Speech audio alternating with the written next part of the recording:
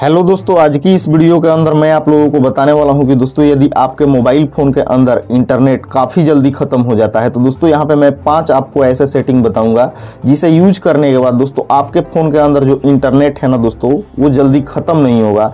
मैं आप लोगों को और से दोस्तों, काफ़ी ही अलग सेटिंग बताने वाला हूँ, जिसका यूज़ करोगे और आप यूज़ करने के बाद खुद ही कमेंट करके बोलोगे हाँ जी, इस ट्रिक को अप्लाई करने के बाद मुझे काफ़ी हेल्प मिला, काफ़ी फ़ायदा मिला और जो मेरा इंटरनेट है ना, पहले से अब कम खर्च हो रहा है। तो दोस्तों, सबसे पहले इस सेटिंग को ऑन करने के लिए आपको करना क्या है?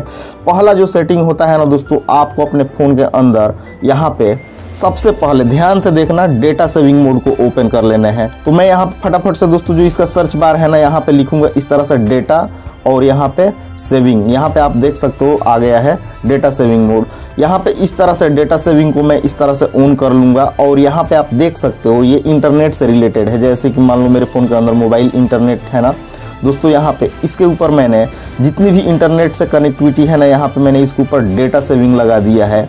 अब यहाँ पे पहला सेटिंग मेरा ये हो गया।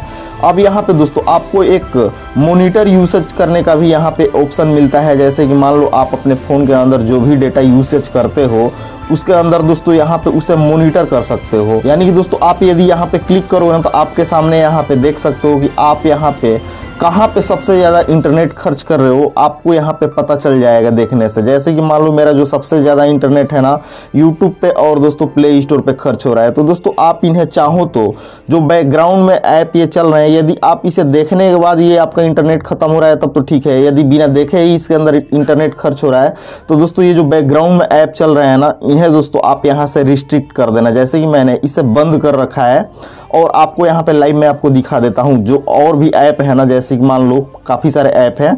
इनका जो बैकग्राउंड डेटा है ना दोस्तों, आपको यहाँ से इस तरह से बंद कर देने हैं। बंद करने के बाद दोस्तों, आपके फ़ोन के अंदर बैकग्राउंड में जो ऐप है ना रन नहीं करेंगे। और इस तरह से दोस्तों, आपके फ़ोन के अंदर जो इंटरनेट है ना, वो काफ़ी ज़्यादा हद तक कंज्यूम होने से बच जाएगा। काफ़ी सेफ़ रहेगा। अब आपका इंटरनेट काफ़ी कम खर्च होगा।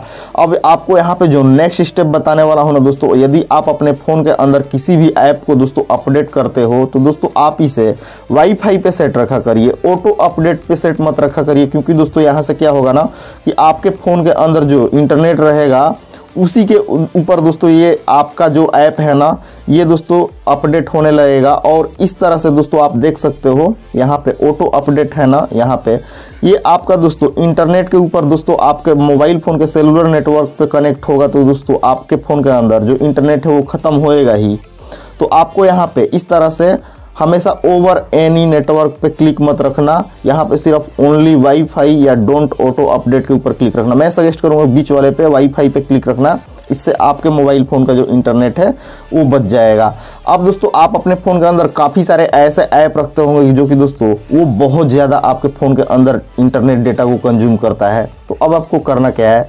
जैसे कि दोस्तों, आप यदि अपने फ़ोन के अंदर फेसबुक चलाते हो तो आपको यहाँ पे प्ले स्टोर पे जितनी भी ऐप यूज़ करते हो ना, उसका लाइट मोड ऐप आपको मिल जाता है। जैसे कि मान लो मैं यहाँ पे लिख रहा हूँ फेसबुक इस तरह से फेसबुक लिखूँगा और यहाँ पे इस तरह से लाइट लिख दूँगा।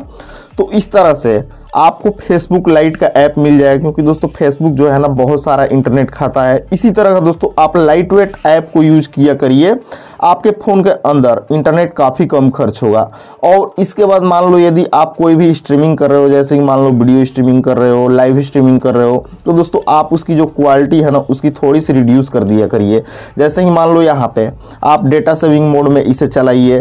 ऑटो में करेंगे तो इसी वीडियो का देख सकते हो कि बयासी एम खर्च होगा। इस वीडियो को देखेंगे तो डेटा सेवर में करेंगे तो आपका इक्कीस एम खर्च होगा और हाइयर पिक्चर क्वालिटी में देखेंगे तो एक सौ खर्च होगा। तो आप खुद ही देख सकते हो कि कैसे आप यहाँ पे दोस्तों छोटी छोटी दोस्तों चीज़ों को इग्नोर करके यूज़ करके आप अपने फ़ोन की इंटरनेट को दोस्तों बचा सकते हो। तो दोस्तों ये थी तीन चार सेटिंग आपको इसे यूज़ करना है और यूज़ करने के बाद दोस्तों डेफिनेटली आप खुद ही कमेंट करके बोलोगे हाँ मेरा जो इंटरनेट है ना, पहले से कम खर्च हो रहा है। आई होप कि दोस्तों वीडियो से आपको कुछ सीखने को मिला होगा तो वीडियो को लाइक कमेंट शेयर और सब्सक्राइब ज़रूर कर देना